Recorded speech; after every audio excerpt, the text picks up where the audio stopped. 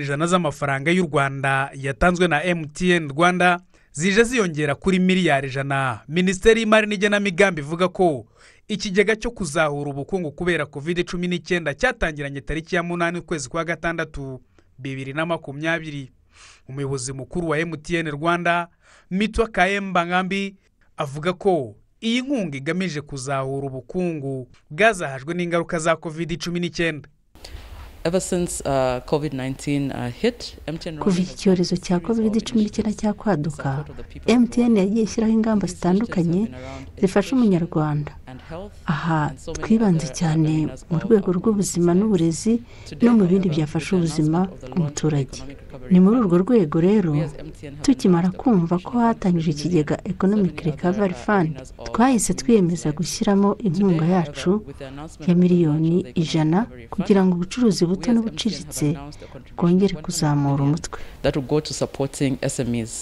Umuti ku izahara ry'ubukungu. Ni iki kigega kizajya kiguriza abafite ishoramari ryashegeshwe n'ingaruka za covid cumi n'icyenda? Icyakora minisitiri w'imari n'igenamigambi dr. Uziyeri ndagijimana asanga kugira ngo kigire amikoro ahagije ibigo bitandukanye bibishoboye bikwiye na byo gutera inkunga iki kigega.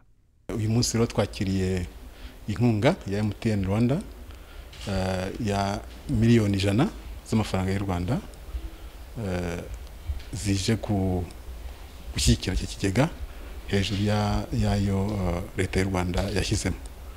Ni igikorwa cyiza ndetse turakangurira n'abandi bikorera n'abandi bafite ubushake kuba bashyigikira igikorwa cyiza cyo kuzahura ubukungu bw'igihugu cyacu.